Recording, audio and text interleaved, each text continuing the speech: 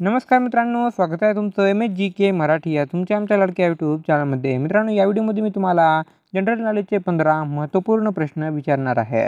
व्हिडिओला सुरू करण्या अगोदर जर तुम्ही जर आपल्या चॅनलला सबस्क्राईब केलं नसेल तर खाली दिलेल्या सबस्क्राईब बटनवरती क्लिक करून चॅनलला सबस्क्राईब करा. चला तर मग कोणत्याही प्रकारचा उशीर न लावता व्हिडिओला सुरुवात करूयात. तर मित्रांनो आजचा पहिला प्रश्न आहे दुधामध्ये किती टक्के पाणी असते? या प्रश्नाचं उत्तर आहे ऑप्शन नंबर दोन शहाऐंशी टक्के. मित्रांनो दुधामध्ये शहाऐंशी टक्के एवढे पाणी असते. आणि बाकीचे जे चौदा टक्के आहेत ते दुधामध्ये प्रोटीन मिनरल आणि कॅल्शियम असते. दुसरा प्रश्न आहे एक किलो मध बनवण्यासाठी किती फुलांची गरज असते? या प्रश्नाचं उत्तर आहे ऑप्शन नंबर एक वीस लाख. मित्रांनो मधमाशांना एक किलो मध बनवण्यासाठी वीस लाख फुलांची गरज असते. तिसरा प्रश्न आहे भारतातील कोणत्या राज्यात डाळींचे उत्पादन सर्वात जास्त होते?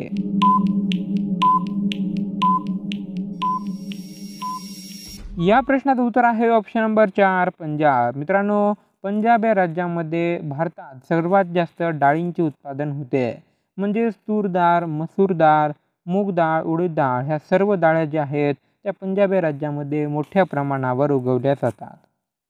चौथा प्रश्न आहे माणसाच्या शरीरातील सर्वात छोटे हाड कुठे असते?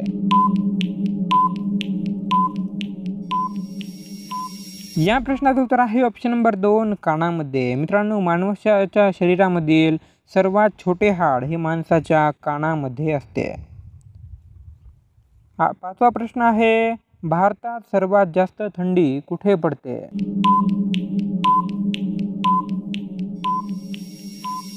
या प्रश्नाचं उत्तर आहे ऑप्शन नंबर चार जम्मू काश्मीर. मित्रांनो भारतातील जम्मू काश्मीर या ठिकाणी सर्वात जास्त थंडी पडते.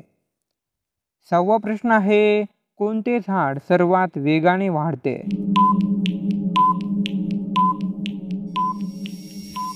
या प्रश्नाचं उत्तर आहे ऑप्शन नंबर तीन बांबूचे. मित्रांनो बांबूचे झाड हे सर्वात वेगाने वाढणारे झाड आहे.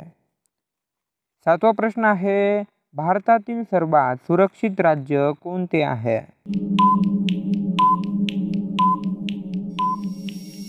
या प्रश्नाचं उत्तर आहे ऑप्शन नंबर चार कर्नाटक. मित्रांनो भारतातील कर्नाटक या राज्याला भारतातील सर्वात सुरक्षित राज्य म्हणून ओळखल्या जाते. कारण मित्रांनो या ठिकाणी गुन्हे खूप कमी होतात. आठवा प्रश्न आहे कोणत्या प्राण्याच्या दुधात सर्वात जास्त प्रोटीन असते?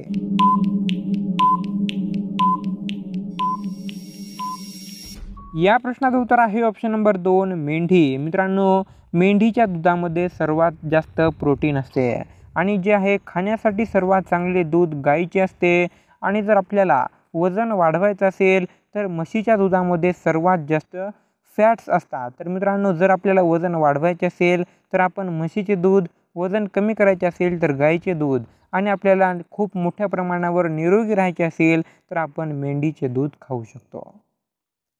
नववा प्रश्न आहे कोणत्या देशात सर्वात जास्त मुलांचा जन्म होतो?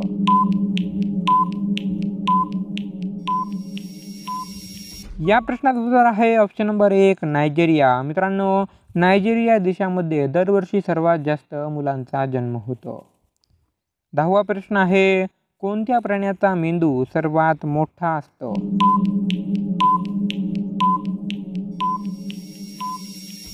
या प्रश्नाचं उत्तर आहे ऑप्शन नंबर तीन स्पर्म वेल मित्रांनो स्पर्म वेल हा एक समुद्रामध्ये राहणारा मासा आहे. आणि मित्रांनो या माशाचा मेंदू हा जगातील सर्वात मोठा मेंदू असतो. अकरावा प्रश्न आहे इंग्रजांनी भारतात पहिली कंपनी कुठे स्थापन केली होती?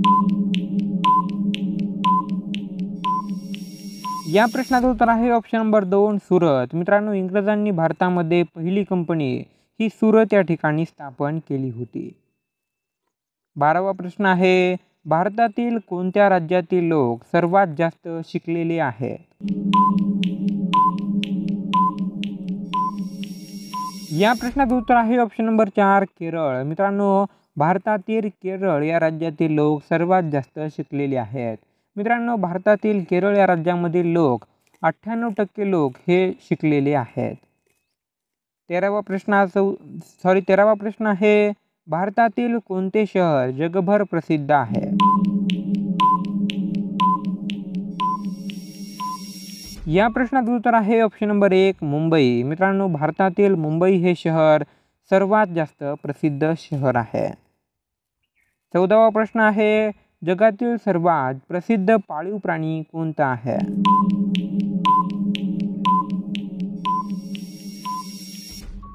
या प्रश्नाचं उत्तर आहे ऑप्शन नंबर दोन कुत्रा. मित्रांनो जगातील सर्वात जास्त प्रसिद्ध पाळीव प्राणी हा कुत्रा आहे. जगातील सर्वात जास्त जो कुत्रा या प्रश्नाचं उत्तर आहे ऑप्शन नंबर दोन कुत्रा. मित्रांनो जगातील सर्वात प्रसिद्ध पाळीव प्राणी हा कुत्रा आहे.